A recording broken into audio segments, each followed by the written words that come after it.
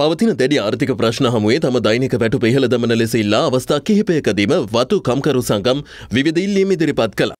ඒ අනුව පඩිපාලක සභාවේ අනුමැතියට යටත්ව කම්කරු කොමසාරිස් ජනරාල් HKKA ජයසුන්දර මහතා විසින් වතු කම්කරුවන්ගේ දෛනික වැටුප ඉහළ නැංවීමට අදාළ ගැසට් නිවේදනය පෙරේදා නිකුත් කරනු ලැබුවා. ඒ අනුව දෛනික වේතනය රුපියල් 1350ක් වන ලෙසත් දෛනික විශේෂ දීමනාව රුපියල් 350ක් වන ලෙසත් වතු කම්කරු වැටුප රුපියල් 1700ක් දක්වා ඉහළ දමා තිබෙනවා. ඊයේ කොටගල මහජන ක්‍රීඩාංගනයේ පැවති ලංකා කම්කරු කොංග්‍රසයේ මැයිදින රැලියට එක්වෙමින් කම්කරු අමාත්‍ය මනුෂ්‍ය නානායක්කාර මහතා මෙලෙස අදහස් පළ කළා. ජනාධිපතිතුමා කිව්වා වැටුප් වැඩි කරන්න ඕනි කියන එක මීට මාස ගානකට ඉස්සෙල්ලා වතු සමාගම් ගෙන්නලා පළවෙනි ටොක් කෑනලා කිව්වා එක්දා සත්සියට වැඩි කරන්න සාකච්ඡා කරන්න කියලා පළවෙනි ටොක් කෑනලා කිව්වා. වතුවල අයිතිය තියෙන තමුන්නාසලට මේ වතු ආයිති ආණ්ඩුවට තමුන්නාසලට වතු කොම්පැනි කියන්නේ බලාගන්න දීපුවයි විතරයි.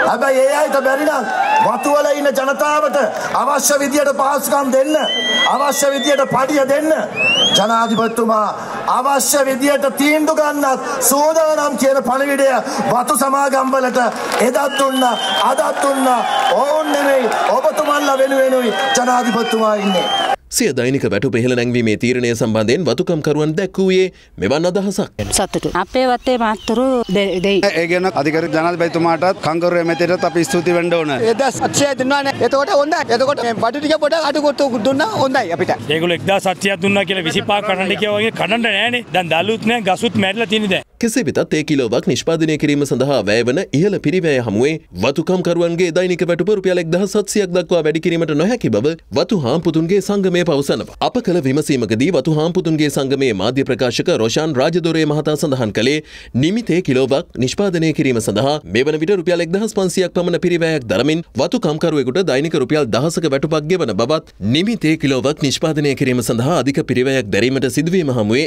රාජ්‍ය වතුකම්කරුවන්ට අපේක්ෂා කරන වැටුප ගෙවීම සීරු බවයි. එමෙන්ම දැනට වතුකම්කරුවන්ගේ වැටුප වැඩි කිරීම සම්බන්ධයෙන් පැන නැගී ඇති ගැටලු සම්බන්ධයෙන් කම්කරු අමාත්‍යවරයා සහ ජනාධිපතිවරයා සමග සාකච්ඡා කළ බවත් එම සාකච්ඡාවලට විසඳුම් නොලදහොත් ඒ සම්බන්ධයෙන් සියලුම වතු සමාගම් සමග සාකච්ඡා කිරීමට කටයුතු කරන බවද ඔහු අවධාරණය කළා. එහිදී ඇති කරගන්නා එකඟතාවන් මත එම ගැසට් නිවේදනයට එරෙහිව අධිකරණ ක්‍රියාමාර්ගවලට එළඹීමට අපේක්ෂා කරන බවයි වතුහාම්පුතුන්ගේ සංගමේ මාධ්‍ය ප්‍රකාශක රොෂාන් රාජදොරේ මහතා සඳහන් කළේ. අදාළ වැටුප මේ මස වතු සමාගම් විසින් ගෙවන බවට වතු කම්කරුවන් අපේක්ෂාවෙන් සිටියද එම වැටුප ගෙවීමට කිසිසේත් වතු සමාගම්වලට නොහැකි බවයි රොෂාන් රාජදොරේ මහතා වැඩිදුරටත් සඳහන් කළේ. මේ අතර වතුහාම්පුතුන්ගේ සංගමේ මාධ්‍ය ප්‍රකාශක රොෂාන් රාජතුරේ මහතා සඳහන් කළේ ඉදිරි කටයුතු සම්බන්ධයෙන් මෙතෙක් අවසන් තීරණයකට පැමිණ නොමැති අතර ඒ සම්බන්ධයෙන් සඳුදා දිනේදී රැස් වී සාකච්ඡා කරන බවයි. මේ අතර පහතරට වතුකම්කරුවන්ගේ සංගමයේද වතුකම්කරුවන්ගේ දෛනික වැටුප ඉහළ නැංවීම සම්බන්ධයෙන් අදහස් පළ කළා. මේ කම්කරුවාගේ වැටුප තේවලට